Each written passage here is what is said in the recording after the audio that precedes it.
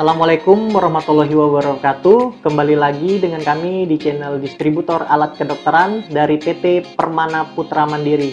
Nah, pada kesempatan kali ini saya akan memperkenalkan dan mempraktekkan cara penggunaan alat defibrillator merek NNB tipe DM7000.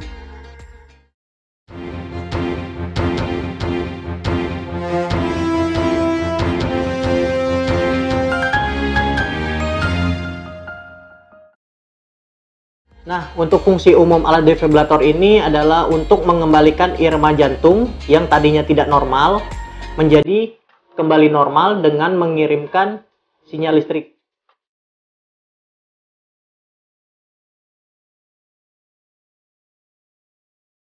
Nah, untuk produk defibrillator kami ini, kami menghadirkan tiga mode. Yang pertama, itu mode manual atau mode defibrillatornya. Kemudian mode AED di sini yang terakhir itu mode monitoring. Nah, untuk mode monitoring itu sudah tersedia yang pertama EKG, EKG dan SPO2. Nah, untuk alat defibrillator kami ini juga sudah ada backup baterainya.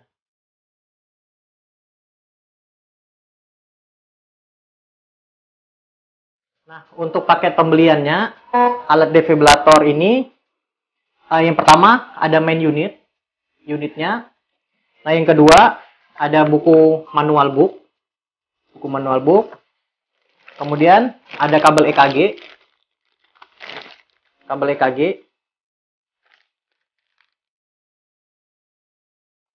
Kemudian kabel SPO2,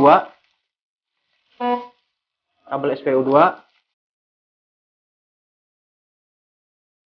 Ada kertasnya, dengan ukuran 55 mm dikali 30 meter. Kemudian ada kabel powernya, kabel power, kabel grounding,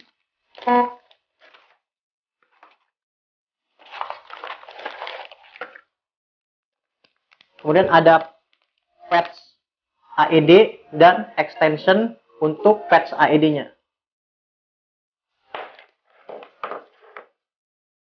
Nah, kemudian juga ada elektroda EKG-nya buat monitoring.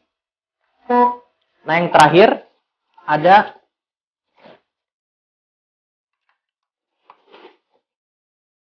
pedal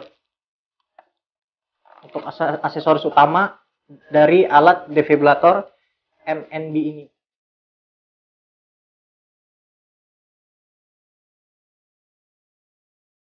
Nah, sekarang saya akan menjelaskan tombolisasi yang ada pada unit defibrillator merek MNB tipe DM7000.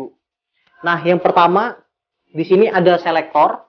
Selektor ini fungsinya untuk memilih mode yang akan kita gunakan. Mode manual, AED atau monitoring.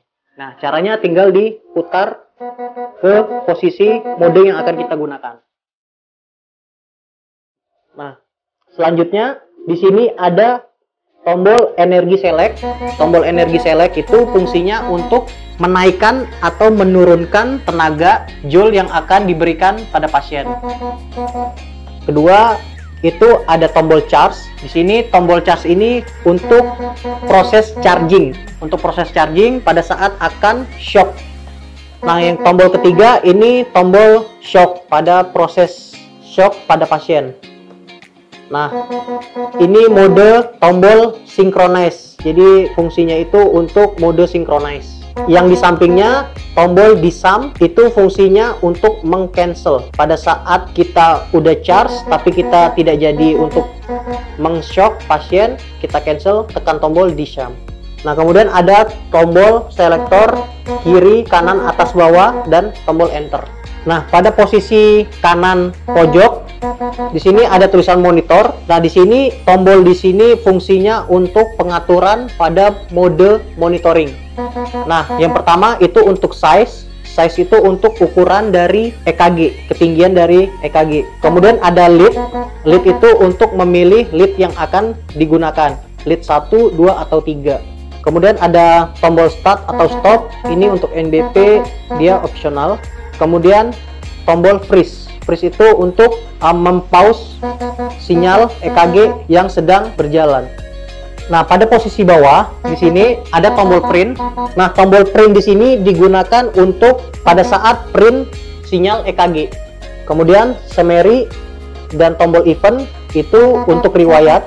Kemudian tombol home, biasanya tombol home di sini digunakan untuk tombol back. Misalnya kita ke menu, kemudian kita back. Jadi tombol buat kembali lagi ke awal.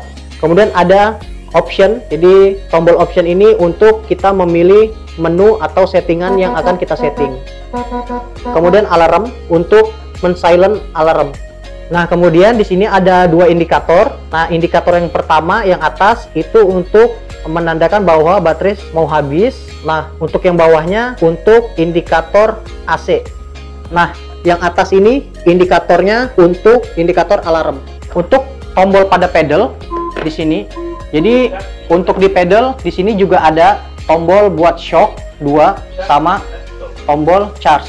Di sini juga ada tombol shock dan charging dan di sini juga ada bedanya di sini biasanya digunakan untuk satu orang kerja nah biasanya kalau untuk di sini dia buat dua orang kerja di bagian samping di sini ada konektor untuk kabel EKG yang bawahnya warna putih konektor putih itu untuk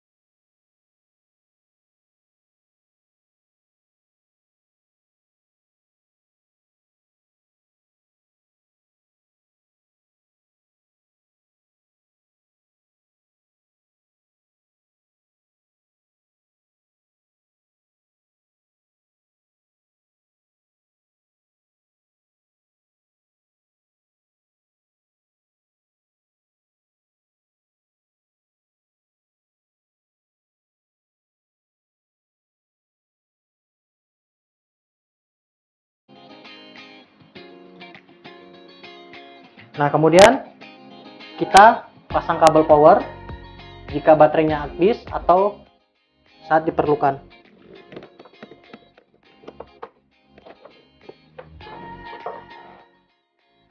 Nah, untuk menghidupkan unit, yang pertama kita lakukan adalah kita hidupkan dulu on off yang ada di belakang alat.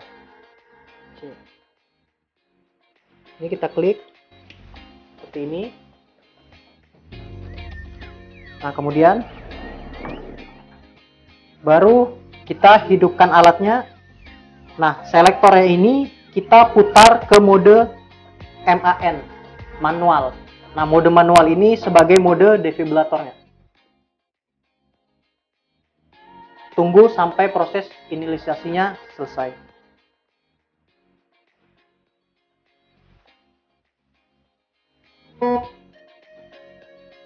Nah, untuk tampilan awal defibrillator kita seperti ini. Nah, kemudian untuk pedalnya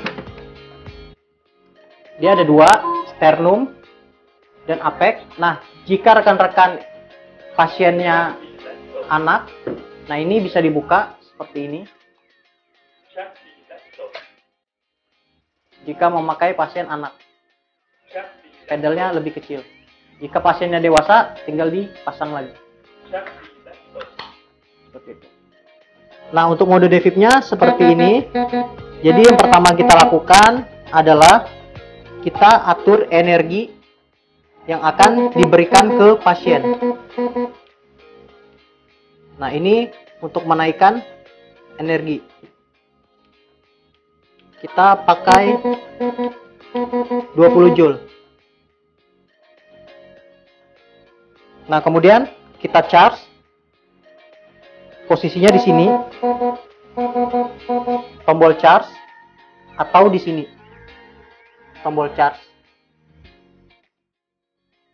Kita charge, misalnya kita di charge di sini.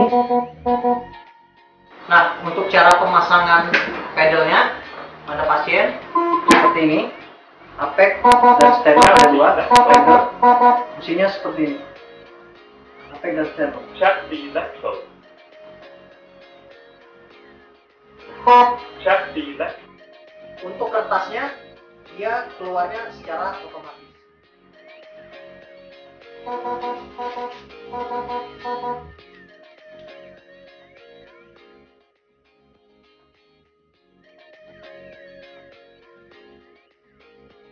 Kurang lebih seperti ini, jika ada kesalahan dalam berkata dan pengenalan pada video ini, mohon dimaafkan. Jika Anda, rekan-rekan semua, ingin membeli produk kami ini, dapat kunjungi website di video ini. Dan bagi yang ingin menyewa produk ini, Anda dapat juga mengunjungi website di video ini. Nah, sebelum saya pamit, jangan lupa like, subscribe, and share pada rekan-rekan kalian semua. Kami tunggu orderan dari Anda semua. Kami distributor alat kedokteran PT Permana Putra Mandiri mengucapkan salam dan terima kasih. Semoga bermanfaat video dari kami. Wassalamualaikum warahmatullahi wabarakatuh.